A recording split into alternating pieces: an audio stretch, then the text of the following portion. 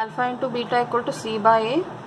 4 into minus 2 here c in this one is minus 8 and a is 1 so we get minus 8 equal to minus 8 again verified. So this completes our first sum. Now I'll be doing the third sum in this uh, exercise 2.2 that is 6x square minus 3 minus 7 by seeing this sum you can easily make out it is not in standard form.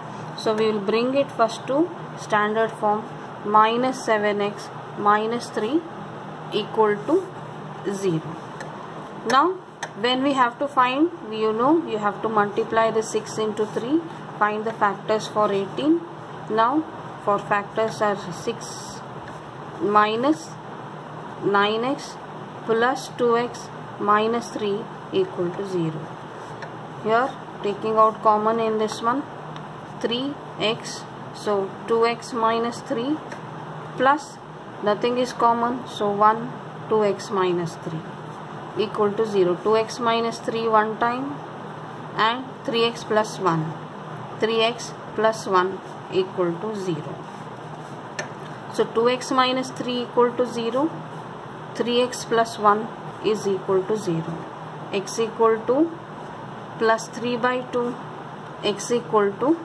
minus 1 by 3 so these are the zeros of the given polynomial that is quadratic polynomial. So for the verification part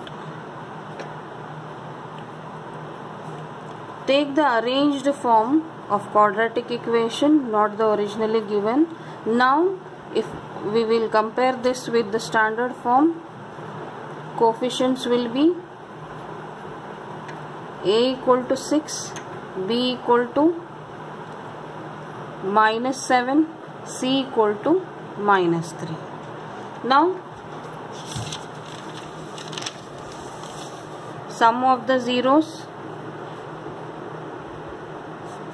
alpha plus beta equal to minus b by a alpha here will take alpha equal to 3 by 2 beta equal beta equal to minus 1 by 3 alpha here is 3 by 2 plus of minus 1 by 3 and minus b is in this case minus 7 minus 7 divided by a here is 6 now when you do it this one in this case take LCM it will be 6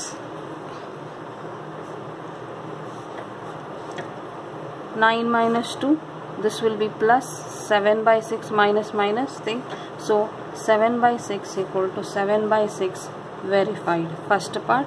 Second part is product of the zeros. Product of the zeros that is alpha into beta is c by a.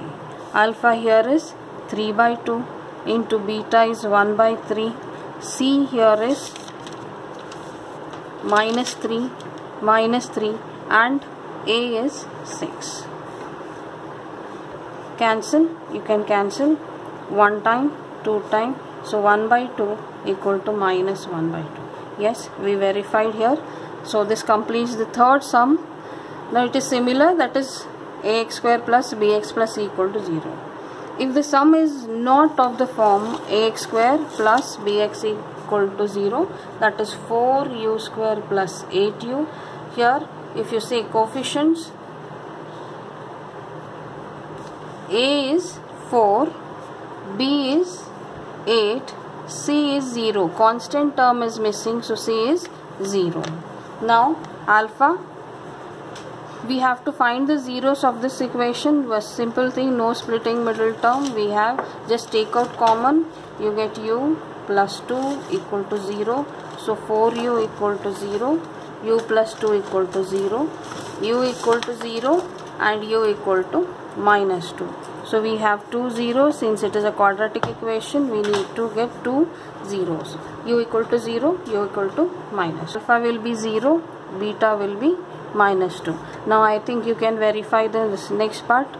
Sum of the zeros product of the zeros. Fine then fifth sum I am leaving this second part for you all to do it. Let me know. You can message me about this part whether you are you have done this part or not. Fifth one that is t square minus 15 equal to 0. When you compare this with the standard form ax square plus bx plus c equal to 0 here you can find the second that is bx part is missing. This is a constant term. Do not take 15 as b. So a here is 1 b is 0 c is minus 15 now I'll teach you to do this sum in two ways whichever you find it easier.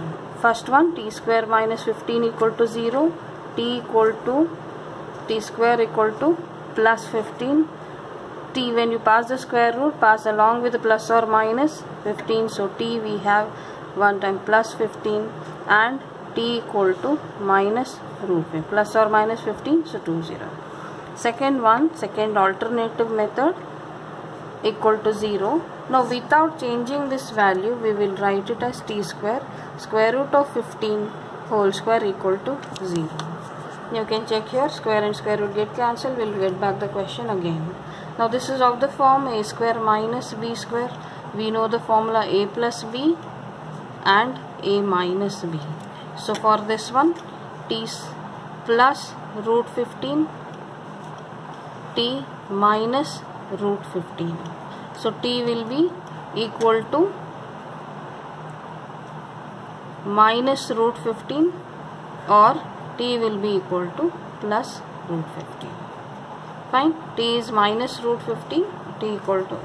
So alpha here will be root 15 and beta will be minus. As I told you we can take it the either way also. Now for the verification part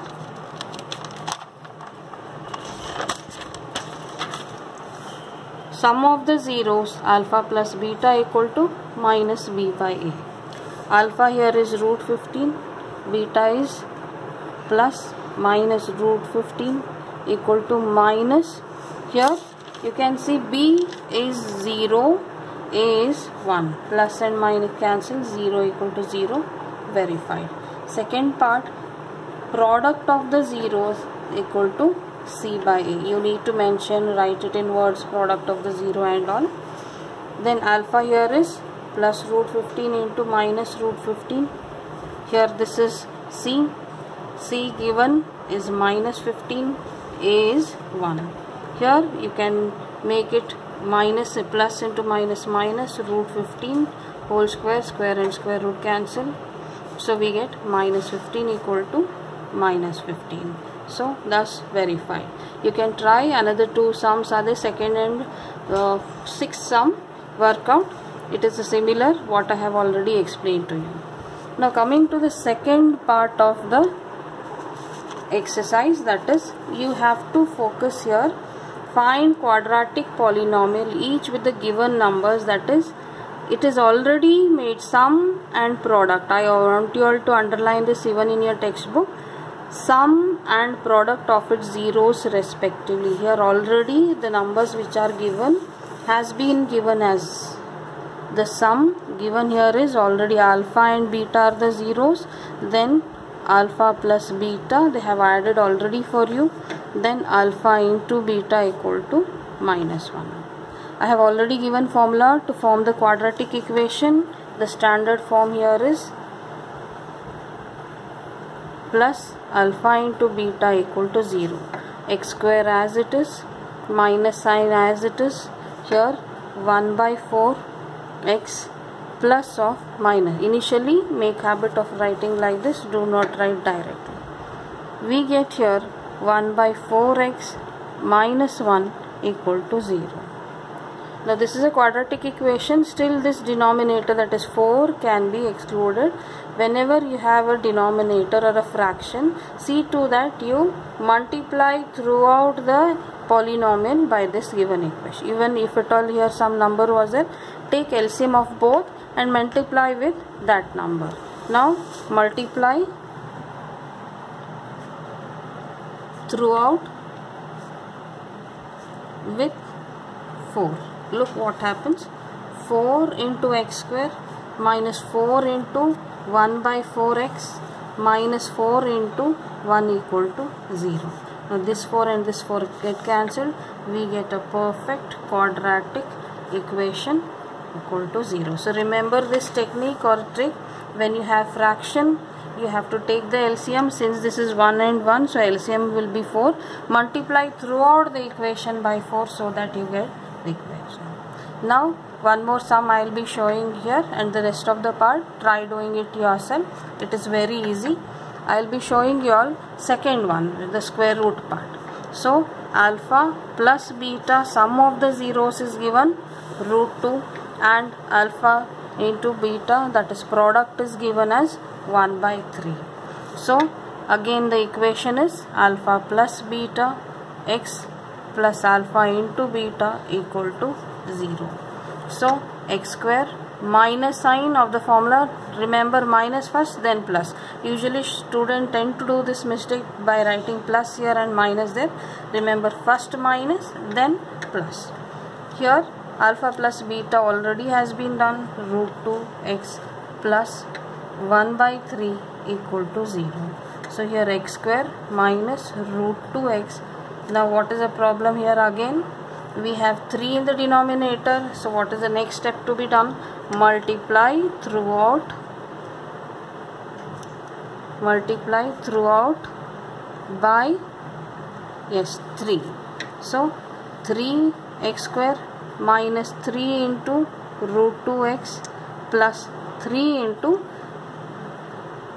this is zero so actually we have to multiply this side also it is already zero so it doesn't make difference cancel see our denominator got cancel now we get again a perfect quadratic equation that is three x square minus three root two x plus 1 equal to 0.